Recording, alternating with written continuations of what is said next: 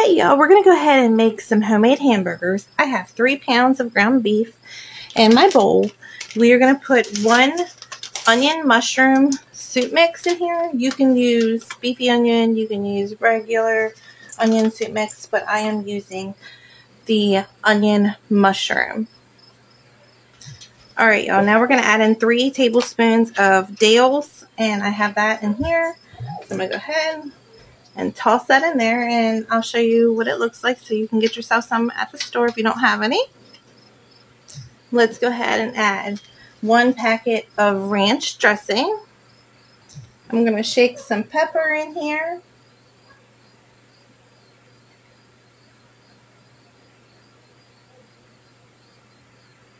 All right, now we're going to add in two eggs. And now we're going to add in one teaspoon of garlic powder.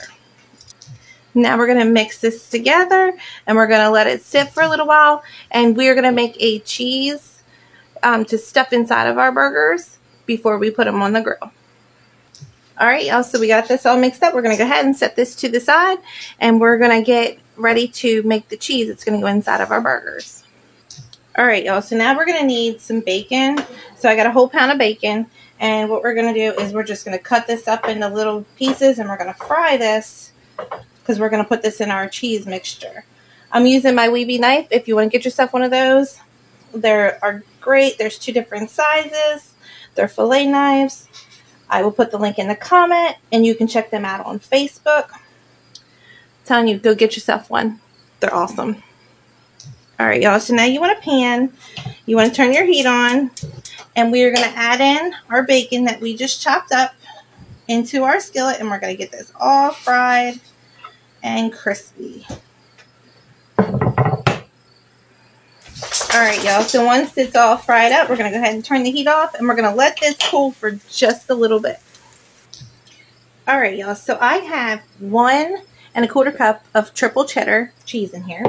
We're going to take our bacon that we fried and we're going to throw it in here. We're going to take four tablespoons of mayonnaise and we're going to also put it in our bowl here.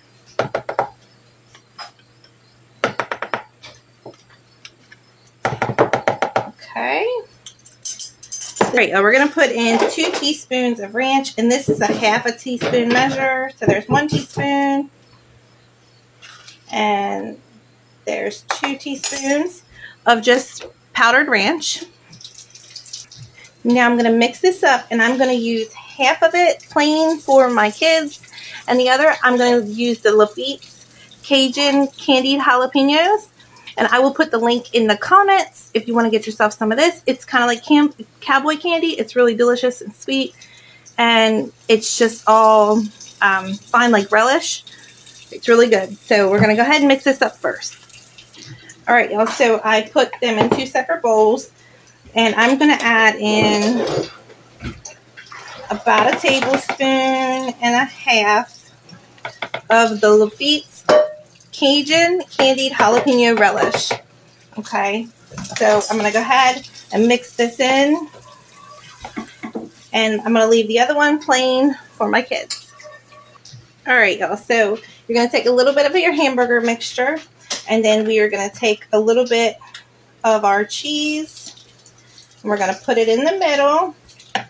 And then we're going to take some more hamburger. And we are going to put it on top. And make sure that we got everything sealed in. Okay, so just patty it around.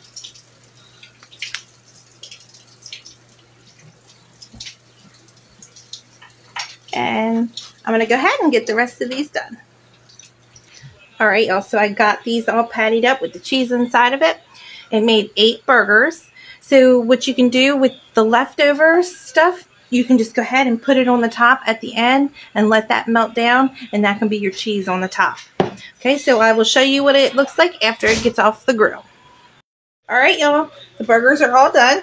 So these ones are the ones with the jalapeno and this one's with not. So I had the extra cheese stuff and I just put it on the top and melt it down at the end when they're all done. So give these a try. If anybody has any comments, questions, or concerns, don't hesitate to reach out. The link for the cookbook will be above this post and below this post. I hope everybody gives us a try and has a wonderful day.